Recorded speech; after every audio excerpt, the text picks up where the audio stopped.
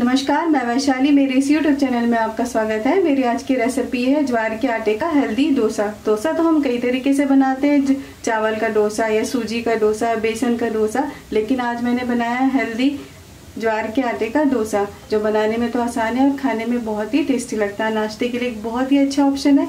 तो चलिए देखते हैं ज्वार के आटे के डोसे में लगने वाली सामग्री और बनाने की विधि। जिसके लिए मैंने दो कटोरी ज्वार का आटा लिया और एक कटोरी सूजी ली हुई। ये बारीक वाली सूजी है। और ये भुनी हुई भी नहीं है।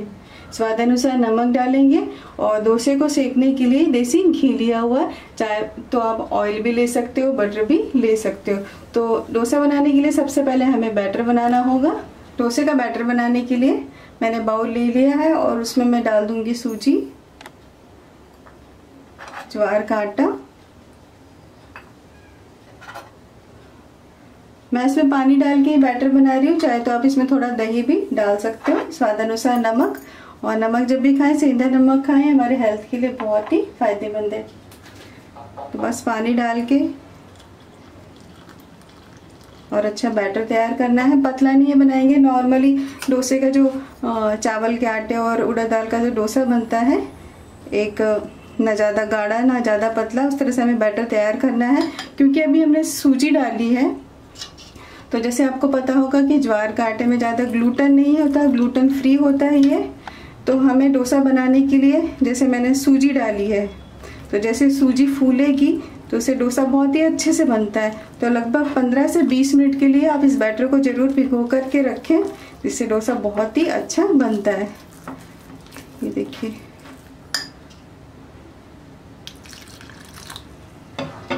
अच्छे से मिक्स करते जाएँगे।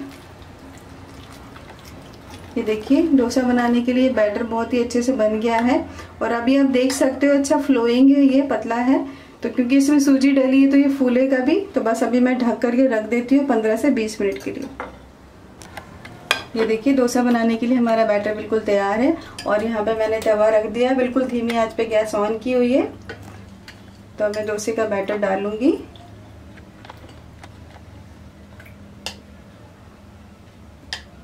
और अच्छे से फैला दूँगी।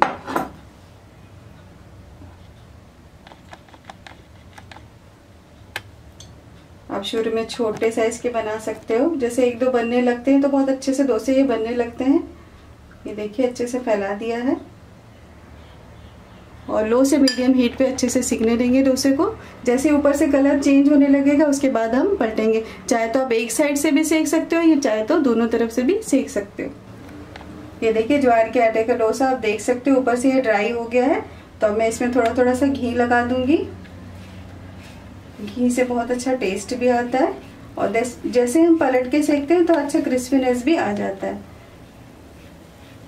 तो मैं इसे पलट दूँगी। आप देख सकते हो, इसे किनारे छूट गए तो हल्के हाथ से पहले किनारे से देखिए, इस तरह से घुमाते हुए आप देख सकते हो, इसमें हल्की हल्की सी जाली भी दिख रही है।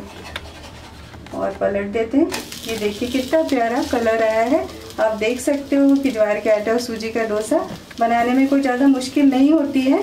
और कभी ये हो सकता है कि ज्वार के आटे में ग्लूटन नहीं होता है हमने सूजी डाली तो जैसे बारीक हुई है मोटी हुई, अगर आपका डोसे टूट रहे हैं तो आप किसी की क्वांटिटी बढ़ा सकते हो। जैसे थोड़ी सी सूजी आप इसमें डाल सकते हो बारीक वाली, अगर आपसे नहीं बन रहे। लेकिन बहुत ही आसानी से ये बन जाते हैं और खाने में बहुत ही टेस्टी लगते हैं। देखिए, डोसा दोनों ही तरफ़ से अच्छे से सीख चुका है। तो मैं आपको पलट के दिखा देती हूँ। ये देखिए, अच्छे से सीख चुका है। हल्का हल्का सा गुलाबी आ गया इसमें कलर। तो मैं इसे निकाल लेती हूँ। ये देखिए, कितने अच्छे से पलट गया। और आप देख सकते हो, कलर कितना प्यारा आया है इसका। ये देखिए। तो इसी तरह से मैं और बना लेती हूँ।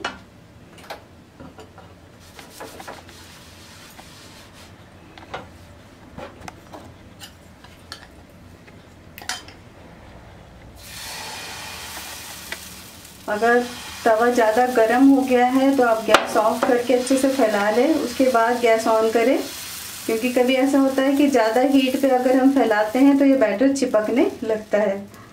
ये देखिए, कितने अच्छे से फैल गया है। तो इसी तरह से मैं डोसे बना लूँगी, इसके बाद इसे सर्व करूँगी। गर्मा गर्म ज्वार के आटे का डोसा बनके तैयार है खाने के लिए, जिसे मैंने चिली गार्लिक की चटनी के साथ में सर्व किया तो आप भी इस आसान सी रेसिपी को ज़रूर ट्राई कीजिए, क्योंकि डोसा बहुत ही हेल्दी है, नाश्ते के लिए बहुत ही अच्छा ऑप्शन है। तो मेरी रेसिपी को ट्राई करके कमेंट करके बताना ना भूलें कि रेसिपी आपको कैसी लगी, और मेरे यूट्यूब चैनल को लाइक शेयर और सब्सक्राइब करना भी ना भूलें। तो मिलते हैं एक नई रेसिपी के साथ। धन्यवाद।